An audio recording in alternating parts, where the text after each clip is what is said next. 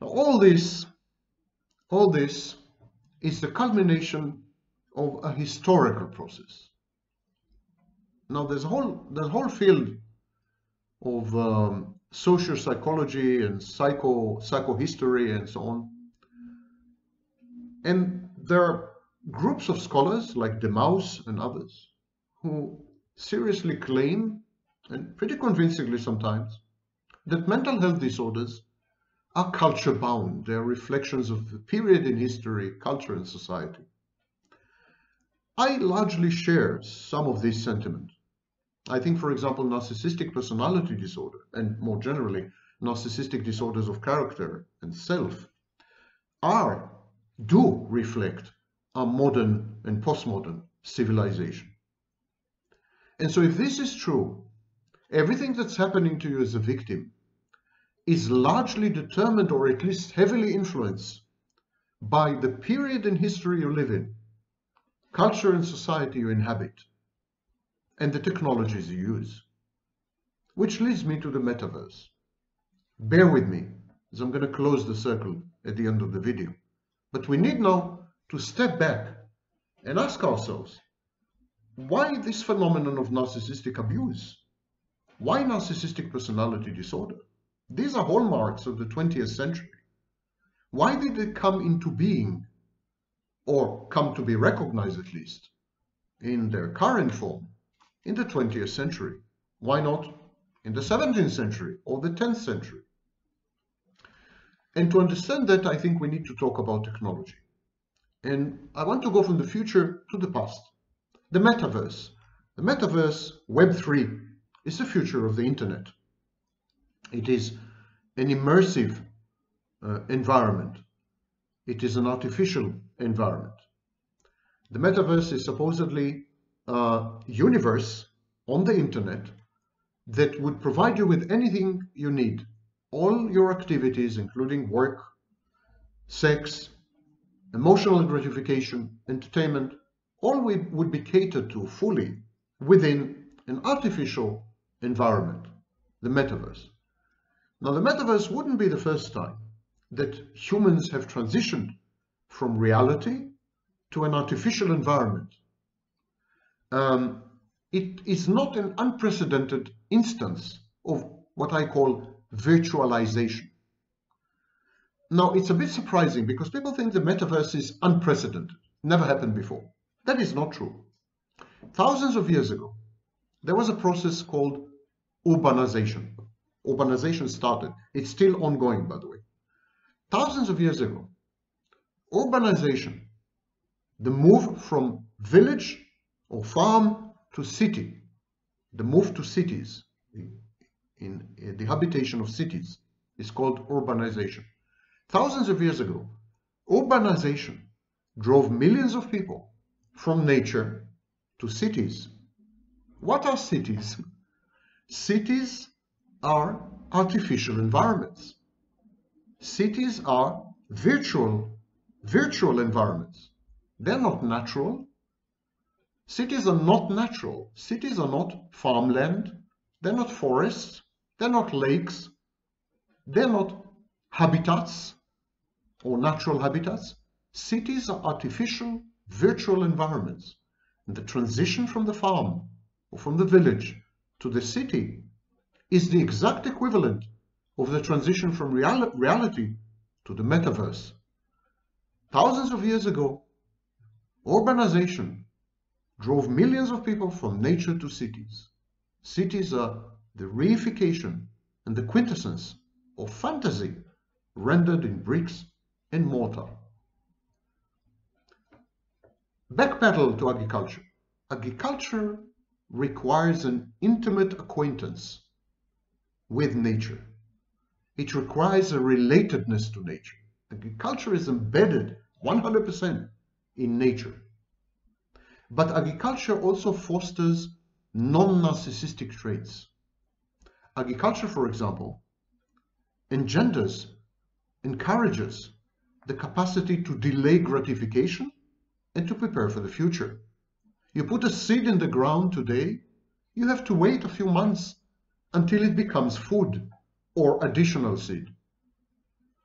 This period of waiting trains you to be patient, trains you to observe, to be observant.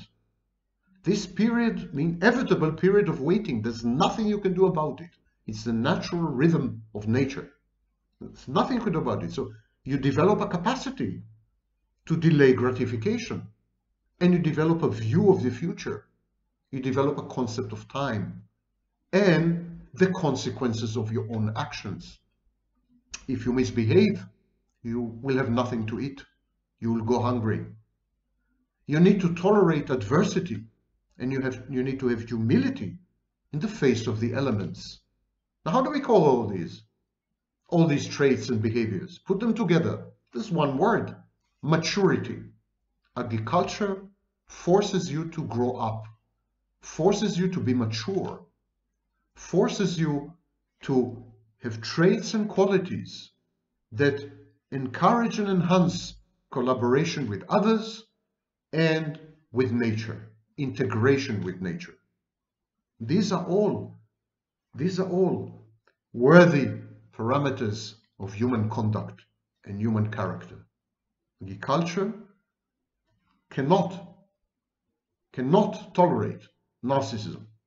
If you're a narcissist in an agricultural society, you're bound to end up as a hungry or a dead narcissist.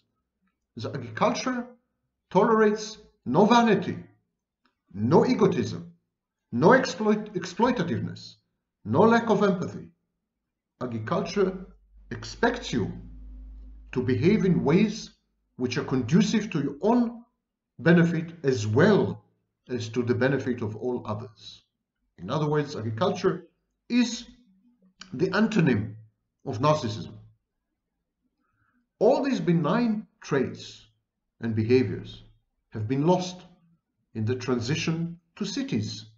When people moved to dense, non-natural dwellings, they lost all this. They became increasingly more and more narcissistic in a desperate attempt to be noticed, to be seen, and to kind of muscle in on scarce resources. Allocation of scarce resources within cities required ambition, competitiveness, relentlessness, lack of empathy, and other traits which are typical of narcissists. The city had infantilized its inhabitants because it had rendered them dependent on the country. They no longer grew their own food they had to wait for other people to grow their food for them.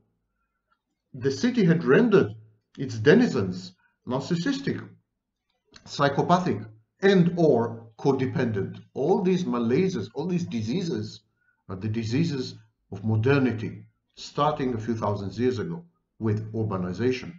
Megalopolises also precipitated and facilitated the environmental calamities that enshroud the planet today and that threaten our very survival as a species.